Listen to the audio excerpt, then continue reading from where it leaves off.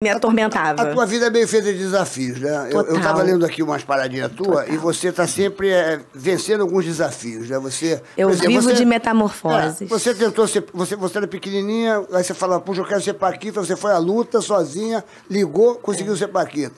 Aí você quis ser atriz, você entrou no- na, na escola arte cênica e. Fiz, e- fiz, é. Estudou e É. virou atriz.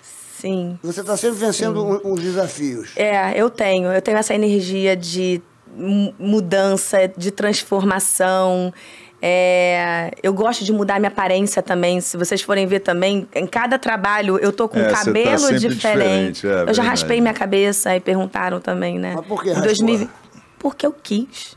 Porque eu. nada? Mas era um dia- porque trabalho? fa- Não. Não, não foi Não? trabalho, não foi Você doença. se ver como é que você... Faz parte do meu processo. Eu vivo um processo de autoconhecimento mesmo. Uhum. E aí fazia parte do que eu estava vivendo em 2020, foi quando estourou a Uhum. Ah, pandemia.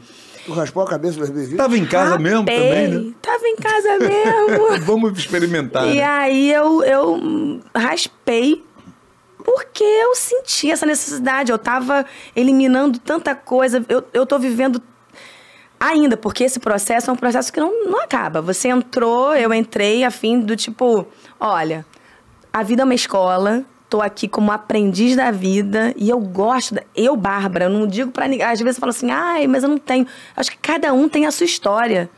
A minha história é essa. A história que eu tô aqui pra contar, que eu mais velha vou poder contar para meus, meus filhos, meus, meus netos. Eu sou uma pessoa que gosta de ser desafiada, que eu sinto umas necessidades de me ver diferente, de me explorar de formas diferentes.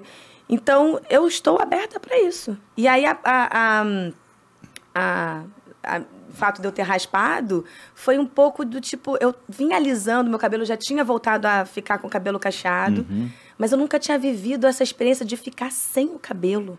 E o cabelo representa tanto. Para mulher é uma coisa forte. É, e eu tava meio que eliminando muitas coisas assim que me que eu sentia que eu tinha um- uma relação ruim.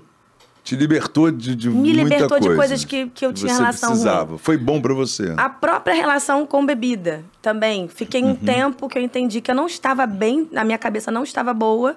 Eu estava vivendo um momento de muita, muito conflito. É, o tal da saúde emocional e mental. Eu não, não tinha. Tava ruim. ruim.